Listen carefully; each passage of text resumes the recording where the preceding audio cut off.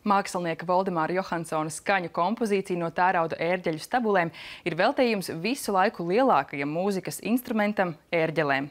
Modernās mākslas darbs atrodas Doma dārzā pie baznīcas, kurā atrodas arī Eiropā lielākās ērģeles. Skulptūra Doma dārzā ir pēdējā šī sezonas izstāde projektā Mans doms un turpina Madara Rudzīte.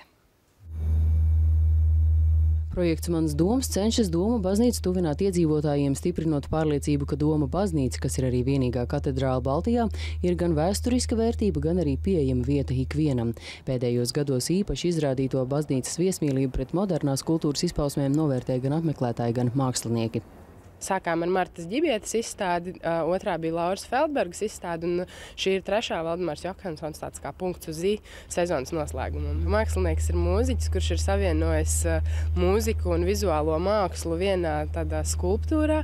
Iekšā mums ir Eiropas lielākās ērģeles, un, un šīs ir tādas stilizētas ērģeļu stabulas ar vēja un ventilatoru palīdzību, kas rada līdzīgu skaņu kā ērģelēm. Skulptūra ir akustiskais instruments. Kad tas pilnībā uzsācis darbību, klausītājs varot piedzīvot specifiskus skaņa efektus, ko skaņu pasaulē sauc par skaņas viļņu amplitūdu modulāciju, interferenci un maskēšanu.